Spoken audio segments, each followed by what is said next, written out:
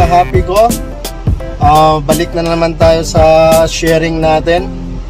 Bali ngayon, summer dito sa Dubai, sa UAE. Napaka-init. So, sobrang init. Nasa 44 degrees. Yan.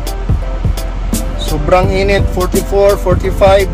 Pero sa labas, parang 50. Para 50 degrees yung ano, yung ah, temperature. Anyway, i-share natin kung ano yung uh, pinapas snacks ko.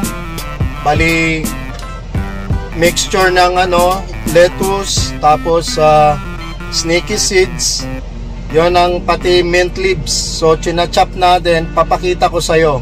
So, abangan nyo. Don't go away. Stay on my channel. Happy Ending Vlog TV channel. Yo, mga kalapatids, mga kahapi ko. Okay, mga kalapatids. Ito na yung sinasabi ko. Lettuce. Yan.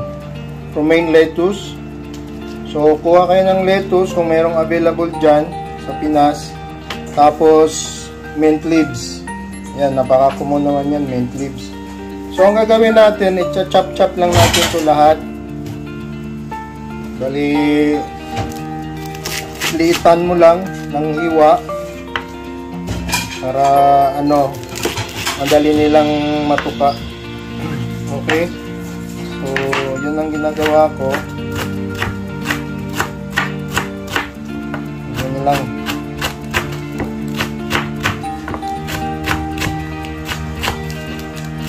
So, pinapas na ko to around 1 o'clock. Minsan, 12.30. Ganon. Lalo na pag ngayon, init yung panahon. So, ito yung ginagamit ko. Yan, mix mo lang yung mint leaves tsaka romaine lettuce. Napaka-simple lang. After that, mixan natin to ng snaky seeds. Or meron kayong oil seeds, snaky seeds, bird seeds. Yan, bird seeds meron tayo. Yung pangkakatil, yun ang imimix natin. So, ganyan lang kasimple. Malaking tulong yan, malaking benefit sa, no, lalo na yung mint leaves.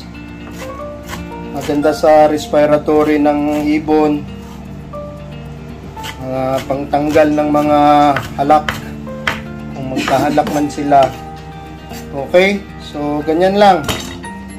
So, lagay natin sa ano. Yan. So, mamaya, i-ano natin, mixan natin. Kaya tayo sa taas, mixan natin ng snaky seeds. Or mga bird seeds. Small seeds, actually. Okay, mga kalapatids? So, ganyan lang kasimple. Okay. So, ito yung mixan natin na container. Yan. So, lagay natin tong chinachop-chop natin na mga leaves, lettuce, tsaka mint leaves. After that, lagyan din natin ng ito yung uh, bird seeds or yan sneaky seeds kunti lang. Bali nilalagay ko half lang itong ano, canister okay so mix mix mix lang. Yan mix mix mix. So ganyan lang kasimple. Ito na yung uh, ang snacks nila. Fresh leaves with uh, bird seeds or snaky seeds. Okay? So bigay na natin doon. Okay mga kalapatids. Uh, before natin ibigay yung ano actually ito dates ano to. Ilalagyan ko yung date syrup yung water. Okay? So maganda din yan sa init. Date syrup honey. So, ito sila ngayon. Mainit na mainit. Yung ano natin, yung loaf natin, nilagyan lang natin ng exhaust. Pero pabaliktad yan. So pabuga yung hangin dito, kumukuha siya dun sa likuran ng ano, malamig na hangin. Okay. So ito yung mga yang natin. Yan. So marap malapit na rin silang mag-molt.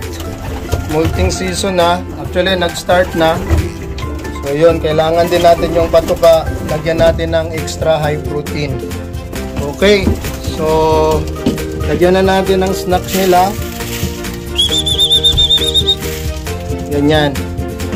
Pati dito.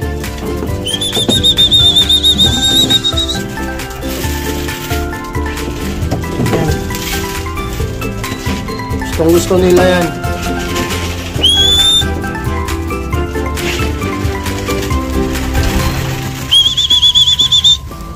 Dut! So, ganun lang mga kalapatids. Napaka simpleng snacks para sa mga warriors natin pero malaking benefits. Okay? So, yan. Madaling gayahin lang yan.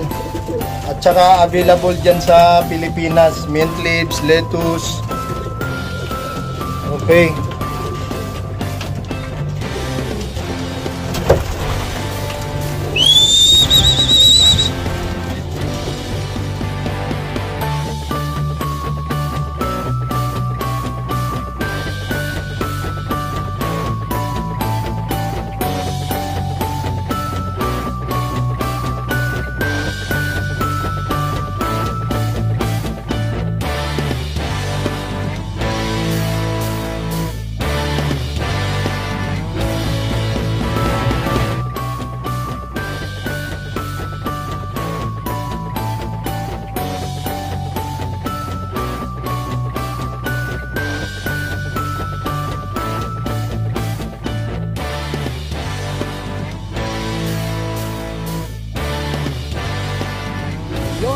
Kalapatids, mga kahapi ko. Ah, na-share ko naman yung mga ginagamit ko dito sa Happy Ending Loaf. So, it's up to you also kung ano yung mga available na ano, pang snacks nyo, kung meron din kayong idea. So, sinishare ko lang yung ano, yung ginagamit ko dito sa napakainit na lugar sa UAE. So, yon pinapa-snacks natin ng lettuce, chop-chop lettuce with mint leaves, tsaka yung sneaky seeds. So, minimix natin. Napaka-simple lang pero malaking benefits. So, yun. Yun sa ngayon, yung mga yung sharing natin. At saka shout out sa lahat ng mga sumusuporta sa Happy Ending Love sa channel ko, Happy Ending Vlog TV. So kung ah, gusto nyo pa yung mga sinishare ko, subscribe. Don't forget to subscribe para mapanood nyo naman yung mga sinishare ko at ginagamit ko dito sa UAE. So shout out sa Team UAE, Abu Dhabi, ah, Dubai, sa Pilipinas, mga nag-for good dyan, shout out sa lahat. Shout out mga kalapatid sa lahat, lahat ng mga sumusuporta sa Happy Ending Love. Maraming salamat at mabuhay tayong lahat. Paalam.